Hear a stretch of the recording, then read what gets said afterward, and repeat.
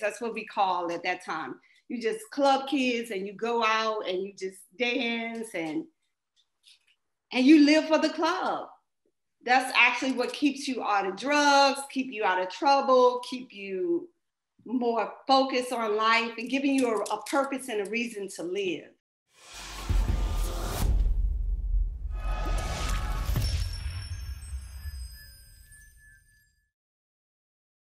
So today is Saturday, January 2nd, 2021. Who are we speaking with?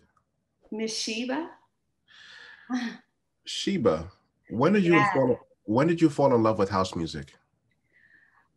Ooh, my college days. Um, I went to University of Missouri because I'm from St. Louis, Missouri. So I went to University of Missouri in Columbia, Missouri, a small college town um, actually, MTV had came there. They were on a spring break tour looking for dancers from the big eight schools, and um, I uh, won the dance contest. I uh, they came there and they was looking for two dancers, and it was packed with dancers. I entered the competition, won, was able to have the opportunity to fly to New York and see what the dance scene was about from with MTV. And I was like, wow.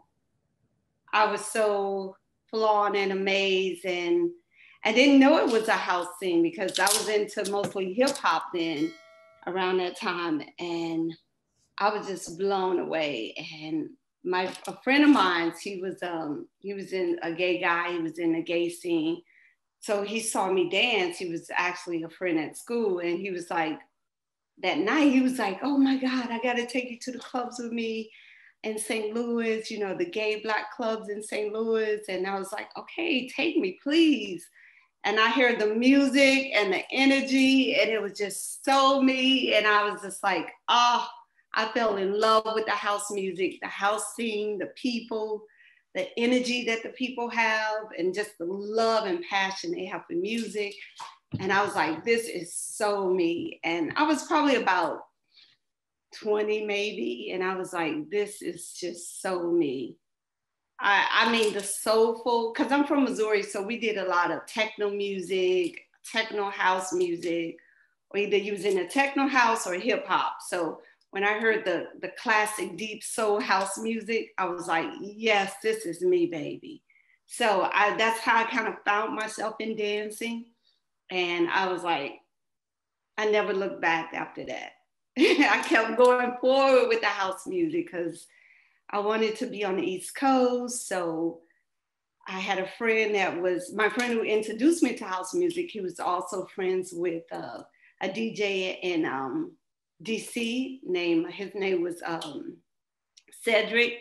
He was like the house magic, house mother of DC, uh, which the club scene in DC, I think that was around 1990s, was just off the hook in DC. I guess uh, the club here in DC was called um, Trax.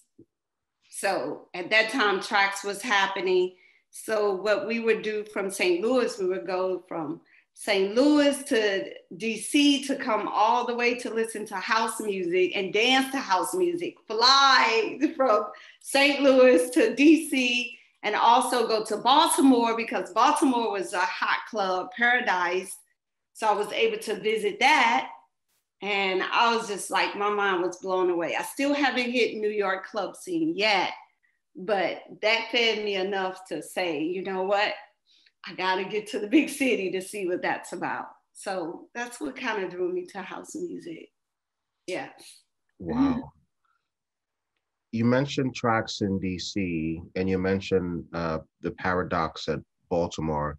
Describe the Baltimore house music scene. I remember you mentioned once a DJ named Tommy Davis. Yeah, Tommy Davis uh, the Basement Boys, uh, Ultra Naté Oh my God, it, it was just, I think that's the time when they had like maybe three DJs at night, four DJs at night, and nobody used to do that. everybody just used to be one DJ that night, and that's it around that time in the 90s. And Baltimore already was doing that three and four DJs at one night because they needed it. It was the party started probably about nine o'clock, eight o'clock at night, maybe nine. But I didn't get there until maybe one or two in the morning, and it goes on to like six or seven in the morning.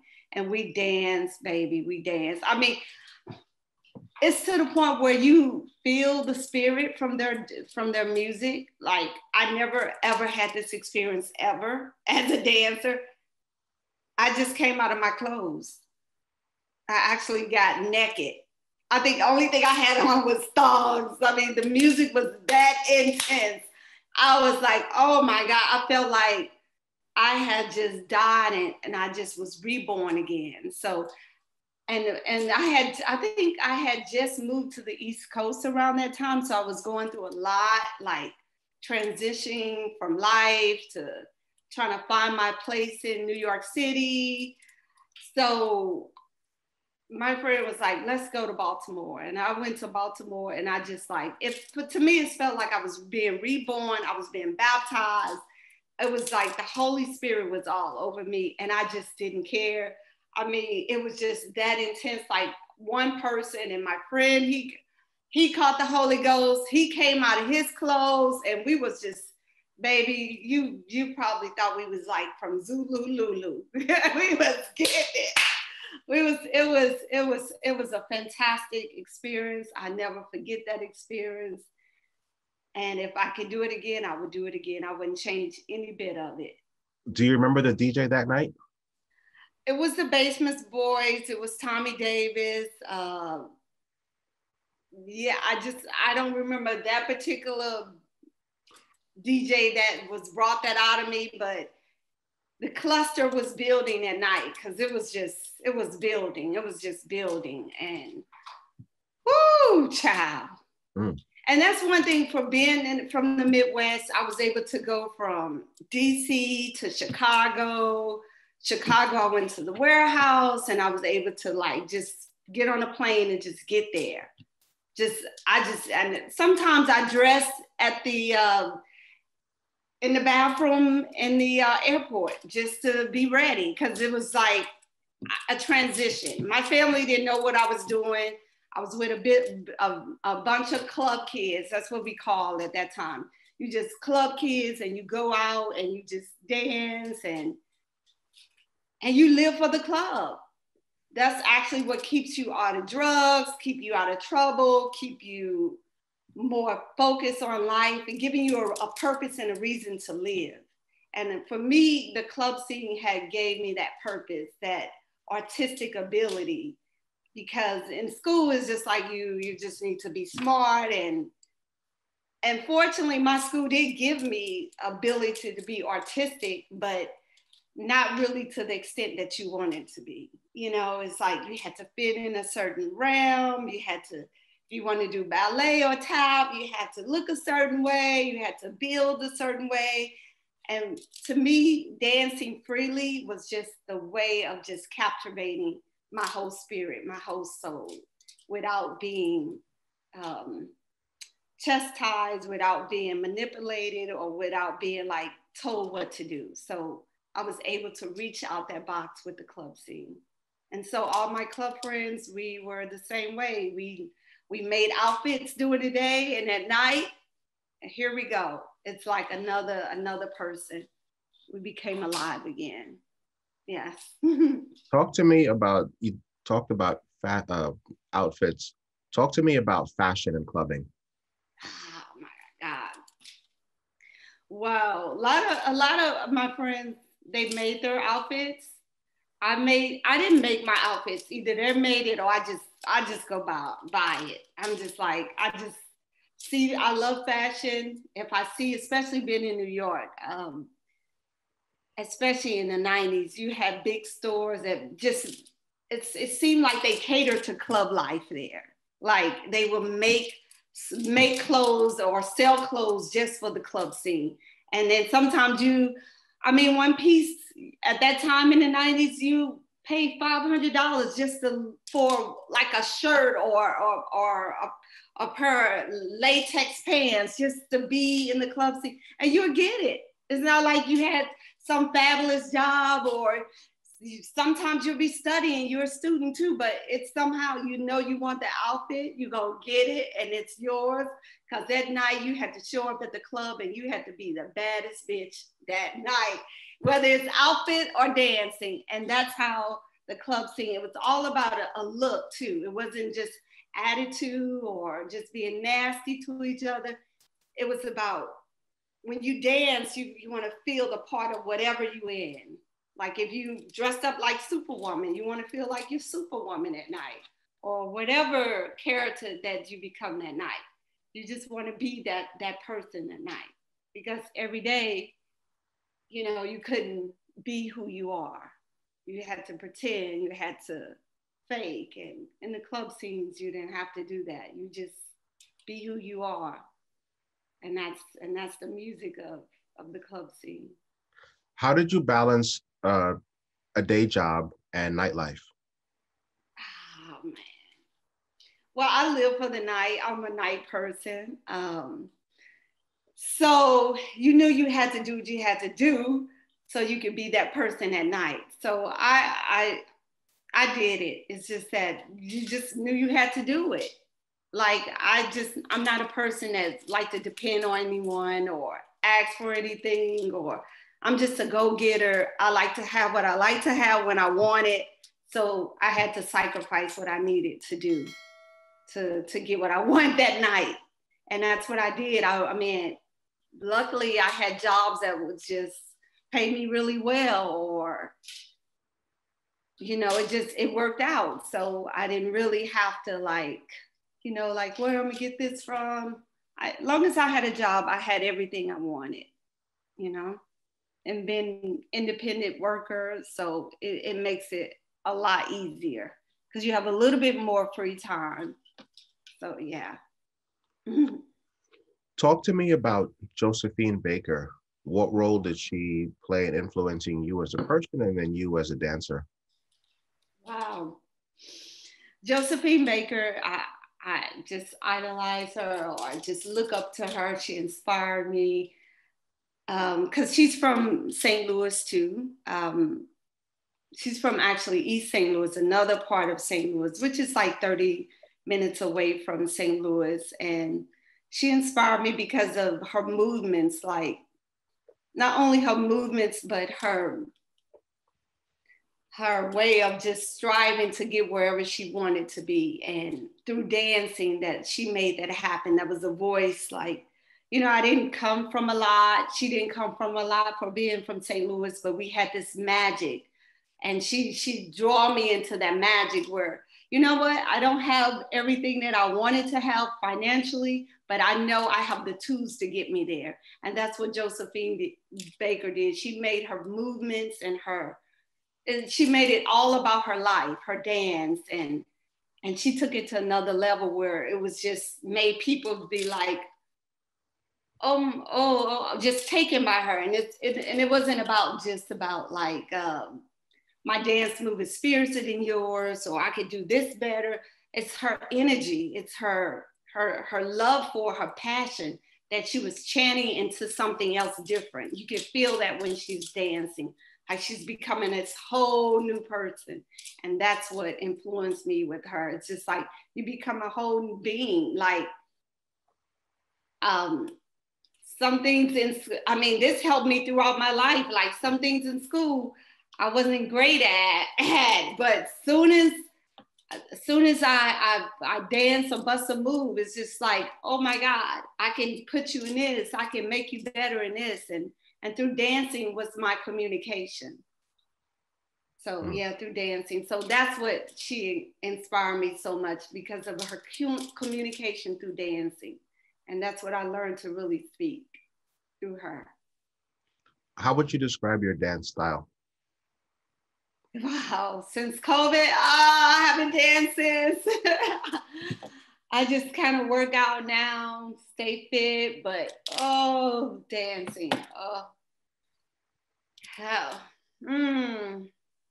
I, it's, it's silent right now. I just, that's where I'm at now. I'm at a place where sometimes I feel like I don't even want to dance again. I, I don't know. I feel confused at this place where I'm at now.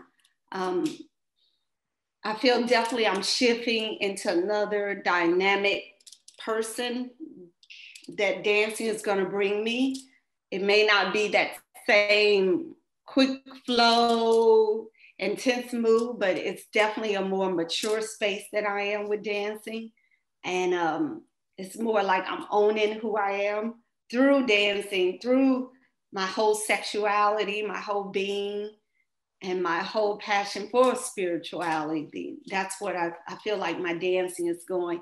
It's definitely not the same as, you know, before COVID, because of after COVID, I feel like I had a chance to step back and look at like what direction that I want to take dancing for me. Yeah. When you first moved to New York, do you remember some of the clubs you used to go to back in the day? Yes. Uh, my my first club that really stood out to me is Sugar Babies. What is Sugar Babies? Sugar Babies was was a small club in Manhattan, like Lower East Side. I guess the A and B A and B area street in there. It was a small club, but baby, the music was pumping. It was the diverse club. It was energy. It was love. It was on, on a Monday, a Monday night. So like most people don't go out on a Monday night because you got to work, but that place was packed. So Sugar Babies was a small club. After a year or so, they moved into on Houston Street, a bigger club like I think it was Urban Plaza was there. They moved into that club on Monday, and it was it was amazing. They have a live drummer, dancers on stage. The DJ was rocking, and at that time, I don't even remember what DJ it was. I feel awful, but it was a banging DJ and that was one of my clubs that I love going to was Sugar Babies. Oh, my kicks was amazing. I felt like I could fly. I mean, you see people there in tutus. So it was just the Monday night was it was just it was a it was magnificent. Then I went to I guess the the tunnel a couple of times. Uh, that was cool. Wasn't really me, but it was cool. Uh, uh, went to I went to the shelter a couple of times, loved the music there. Still wasn't really me. It was kind of dark for me there. Uh, then I went to Body and Soul on like I think on a yeah, it was on a Sunday. And uh, a friend of mine was like, come and meet Body what is, and Soul. What what is Body and Soul? And so wow, it was eclectic, it was diverse. Uh, you could get all types of music. I mean, you may get a Missy Elliott track and like with the mix of reggae in there or and then it's and you and like I said I came from hip hop I came from jazz I I studied a combination of dancing so when I heard that I was like oh my god we don't have to be stuck in one place in music all the time because even though house rules the world to me, but I love to hear like different types of genre music. And that's what Body and Soul did to me as a dancer. So it just brought even more stuff out of me. I felt like I can do plies. I felt like it's I just felt like, you know, I can do my modern dance there. It was just, it just brought the soul out of me. That's what Body and Soul did. It just brought it's just okay. I'm this little country girl from St. Louis. Now body and soul just grew me up into a woman, a diva. So that's what body and soul did to me because it it reached into me and just brought me into so many layers of me. Which sometimes when you listen to one type of music, you kind of just stay there. You can kind of choreograph different things from it have the spirit to chant into you different things or it comes. But when you hear like tracks like a Missy Elliott beat and then a, a beat from a classic, and then you're like, oh my God, I remember my auntie was playing this and or you know it's just like things just start to move and elevate and that's what made that just so amazing and then you can hear grace jones track like wow that was like that was like chanting into a whole different world that's what that's what body and soul is who were the djs Danny Krivit uh, francois k and Joe Claussell you also got an opportunity to tour with Body and Soul and became a Body and Soul dancer. Uh, how did those opportunities come about? Yes. Um, ooh, I think one day I, I was uh, Joe came to the dance floor. He was dancing, and uh, he was just like I was dancing. I think with Marcellus that night, and we was just the music was just going, and so Marcellus, in it, which is another great dancer, he, he tends to bring the best out of you when you dance. And so we was just feeling the music and Joe was there and he was like, wow, I think he was captured by the way I was moving and dancing. So one day he's like, oh, you know, if I ever have some work coming up, I want to make sure you be a part of it and blah, blah, blah. And you know, it's New York City. You hear things like that all the time. Like, so you're like, okay, I'm from the show me stay. I'm like, pretty much you got to show me. Ta. okay. So, so, and he did follow through and he, he called me one day and he was like, look, you know, I'm, we traveling, you know, in Japan and we would like to you to be a part of it. Would you like to be a part of it? And I was like, oh my God. Yes, indeed. But that ride I couldn't go because I had just sprained my ankle dancing at the shelter dancing with another amazing dancer, Eddie, and I couldn't go because I sprung my ankle that day and I was out of commission for maybe a month or so. But he's like, that's okay. We got more work coming up. So I keep you in mind. I say, please do, please do. And he did. He kept me in mind. And I, my first time to Japan. And we, that night, we had to dance usually two nights back to back for like 12 hours. One party was one day and the next party was the, the other day. And usually they're about 10 to 12 hours a party. Wow. Wow. Yes. Back to back dancing. So, and that was amazing. and then uh, describe body and soul in Japan. What is that like? Ooh, whole different energy, but amazing energy still. Um, mm, first of all, I mean, it's so eclectic the way they they have everything designed and decorated. It's like it's it's mind blowing. Um, the interior is for the club is set up amazing. The sound system is just so clear it goes through your heart. And you feel all the bass and all the music. Uh, the setting of the stage is just so uh, it's, it's, it's, it's just perfect. Um, and the people are just so passionate about music. It's just like wow. Like i listen to music and i feel like the music bass. But then I, I went to Japan, they not only feel the music of it, but they listen to the words. Like me, I, I'm not really listening to the words. I'm listening to like the music, the bass, the instrument, the electric sound. Them, they like, they can't speak English, but then they sing in the song that's in English, like they know every single word. And I'm like, wow, I'm mind blown. Like, this is like a song that my great auntie used to listen to, but now it's a classic and they know that song and they know all the words. And I'm like, I know none of those words. And that's what amazed me that they knew all these soulful classic songs from Black people and they knew how to say it in English by singing it. Like that's that's what mind blowing to me. And then just the energy of the people at that time it wasn't much dancing there because they were so captured by the musicians and the DJs and the dancers. But now that was in 2006. Now that the culture has changed so that now you can see more dancers, they are dancing more, they are just participating in all realms of just being in the in the house music scene. Not saying that they wasn't before, but more so you can see more dancers now in in the uh, in the Japan area of body and soul, which is great. And then you also uh, went on tour to Hong Kong with Body and Soul as well.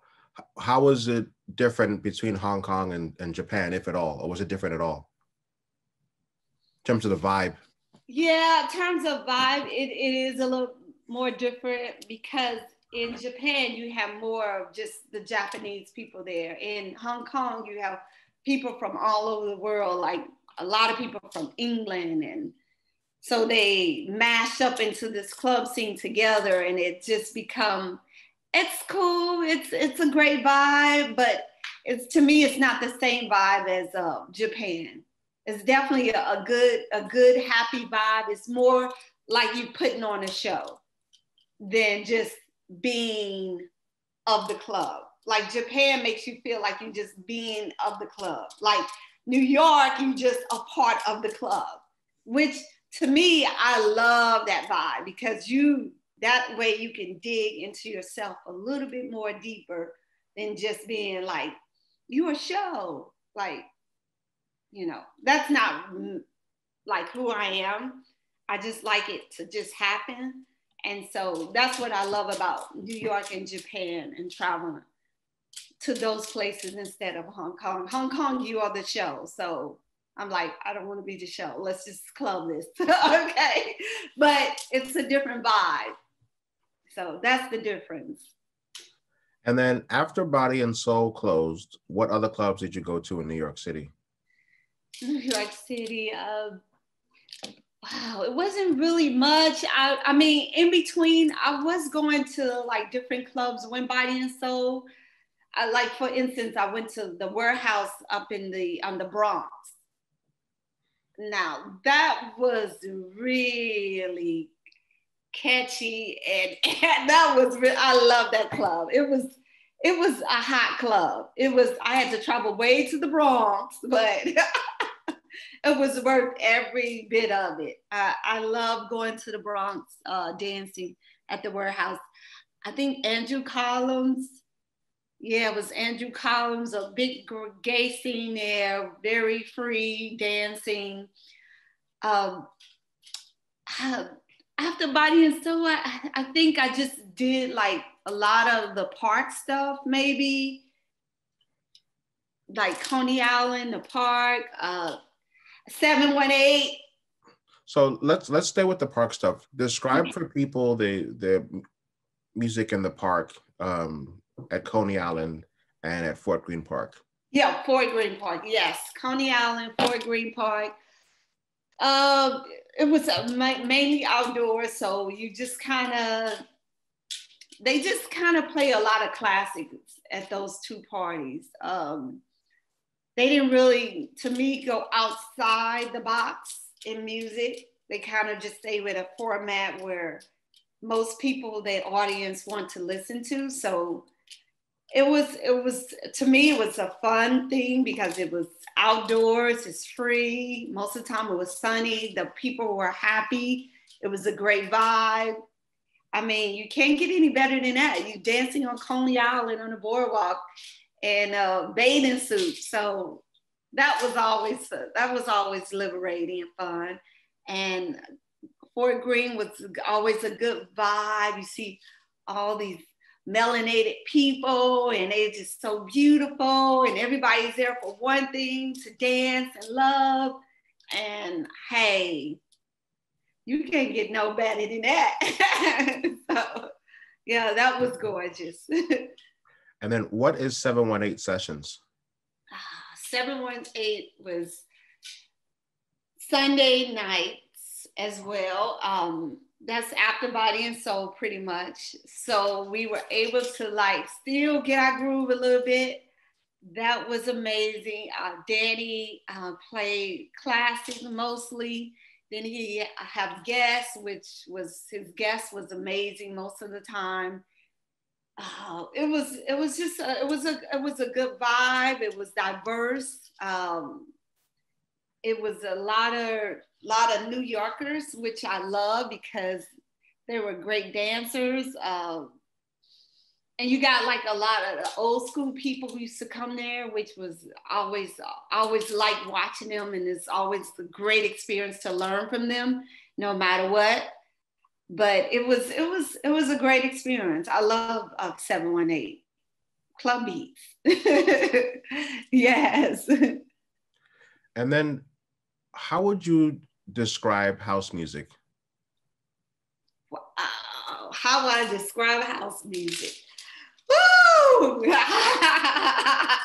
exactly. Yes. Um, oh my God. It's mind blowing, uh, liberating, magical. Definitely magical. Mm, it's especially when you have a, a DJ that can mix the house music correctly. And to me, it's not really about like how you mix and how you do that because as the dancers we don't really have time to you know we're we're not there to try to coordinate that in our minds but it's just a good flow a good music a good tone a good just a good beat just you know i love bass that's what gets me bass is just ooh it's just oh it's just liberating bass so once I have a good bass and a good flow, I just it's just mm, house music just it's just it's magical to me. That's what I can say. It, I know it saved a lot of people's lives. It saved my life for either like from being to me, I felt like I can go a mental place, like just being coping in this world. I probably can check out mentally, like just go mental bazaar somewhere but house music has balanced me into this person that helped me stay spiritual. It helped me ground myself on a on an everyday level of dealing with so, this society of being a melanated woman, being a woman, just being, you know, this this place in this world as we are as, as, as melanated people. And it helped me stay strong and keep my strength and keep my head up and say, I am black and I am proud and I'm gorgeous and I'm gonna walk with an arch in my back and I am a diva. That's what house music do to me. Yes, it reminds me, it gives me that check mark. Especially, I say especially house music is a birth of like of, of, of just woman power like i listen to all these women who sing house music i mean gosh they are just amazing like oh they just they just bring house they bring church music they bring house music and they just ball into one and just just make it into a, a beautiful stone it's just a stone of fire. Right? like, That's perfect. Some of the artists is just you can't you can't stop. It's just whoo. It's, it's it's definitely uplifting. I love it. Do you have a particular memory uh, or a night where body and soul where it was just like this is why I come to this party. This is magic. This is why I came to this party. Yeah. I have a yes, I have a great memory. Uh, it was in oh, a couple of them, but this particular one, Body and Soul, was last night was at Vinyl. Um, they were closing, and it was the last night, and it was the last dance, and it was Charles, Marcellus, and a group of us was all in a circle dancing and it just came over me and i just i just caught the spirit and i just i just ran around the club in the bathroom i just i dance. i just i, I don't know what came over me the music the the energy of the people we knew this wasn't going to be the last one. It wasn't really about that. It was just that we was just so all grateful to have this opportunity because we know that it may not get like this again. It may not happen like this again. So we embraced that moment and that music. I, I don't know who was DJing at night. All three of them were, but this last track, woo wee! You're gonna make me have hot flashes. okay, yes. it was it was amazing. Yes, that was yep, that was really one of my my really spiritual points that I had there. I had some more great moments too, but that was really a highlight. Sometimes I notice some of the young dancers may want to battle. How do you deal with that? Has it ever happened to you? And then how do you deal with that? Oh my God, yes. Oh, yeah, that's yeah, there is a battling crew out there, a battling crew out there, especially the millennials. They they want to battle you and challenge you. And usually sometimes I dance with them. It's about a body language. You dance with someone. Uh, it's not about a challenge. So you have to teach them that sometimes a person can inspire you to dance, but you don't need to challenge them to be better. Like, like for instance, we did challenge to like when we were you know, starting the club scene, dancing. Our challenging was a sense of, you know what? Um, wow, you're an amazing dancer. I want to dance with you so I can learn from you, not to think I'm gonna beat you. But if you did beat me, it's just gonna make me better. I'm gonna go home and I'm gonna practice. I'm gonna just keep going at it and I'm gonna just keep striving. So ours was more like a lesson of teaching you how to dance with each other instead of battling each other. Like, do you understand? It's a like I feel like they just come up to you, uh, just like just want to just go at you, and it's it's not about that. You, I have to sometimes redirect them when I'm dancing to let them know that you know it's not about you know, you doing tricky moves. It's not about you can flip over your top of your head. It's and if you can do that better than me, it's about dancing together to make make a story. When you dance together and build, that's how we used to battle each other.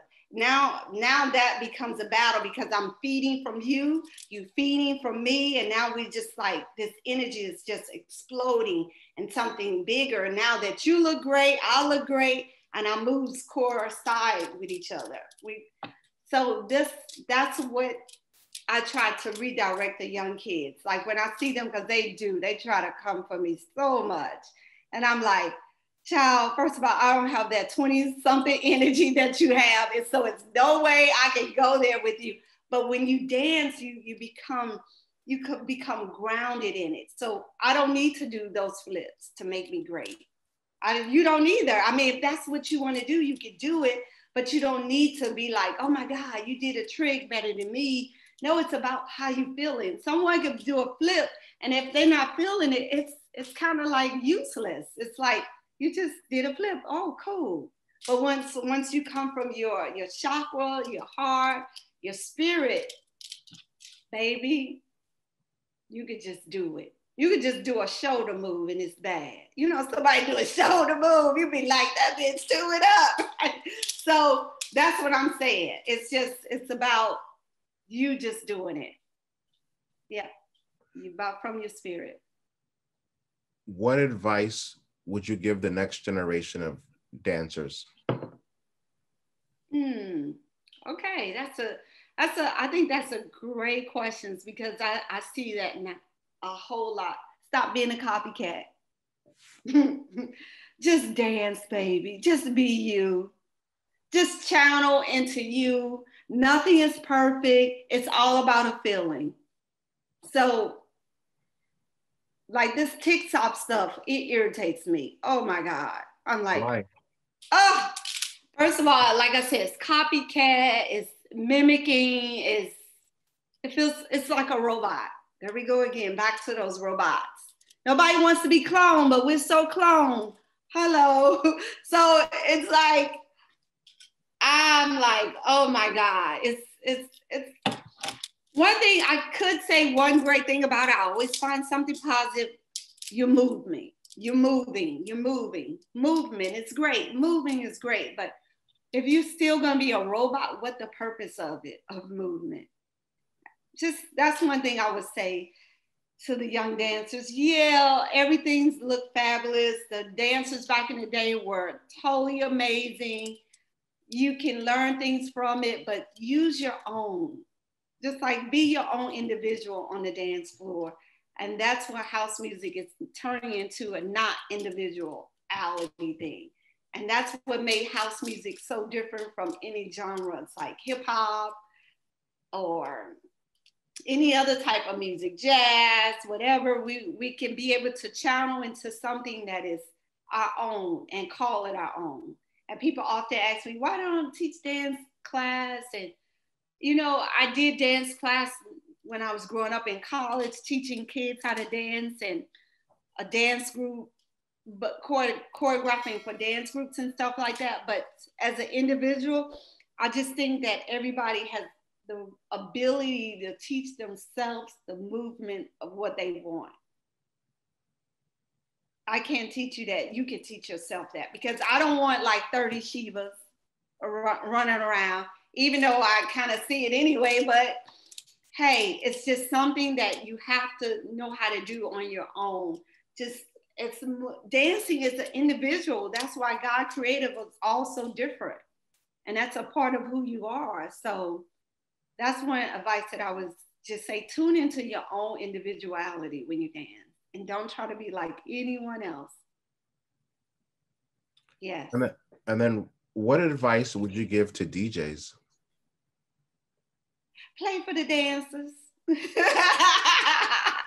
Watch the dancers. I mean, I, I don't know if they dance now, but yeah, before play for the dancers. That's the advice, what I would say. Definitely feel what you're feeling, but back in the day, what made DJs so amazing, which there are some DJs still like that today, they they play for the dancers. They like, wow, okay, like like when I used to go to the clubs, when I first in the beginning started going to the club, I let the DJ know I'm here. Here's my outfit, here's my pumps, and I'm ready to go. How you want to do this? Because if we, if if you plan the music for the dancers, then the dancers can you can control it through the the music and we control it through the dance floor. So it's a connection together where we could just blow the club up and we could just make it like magical, Holy Ghostness, everything you need is gonna happen. And that's what a dancer and DJ match up together. And I think at, at some places it got lost. It become all about the DJ, and that's not what where music is about with dancing and DJ, especially house music. We were together. Like I I seen DJs didn't saw people that they know that know that's gonna turn that floor up. They in the house, let's put it, let's pump it now. I didn't see that action happen. And I just like, and it's and it's just like, wow. Even as a dancer, when I know a certain dancer is in the house, I'm like, oh, it's about to, it's it's about to be raw now. It's about to, it's you know, I mean, it's the same energy as a DJ. If I know that particular DJ is gonna be DJing, I'm like, I know we're gonna pump tonight. And it's that that togetherness we have, and we need to still stick together. It's not about one, it's not about the other. It's about the flow of the whole community, dance music. Yes. That's well said. What do you what do you see as the future of nightlife after COVID? Will it survive? I think the park scenes are going to do good. Like all park events at this point is going to be really, really great to do if you capture on that. The club life,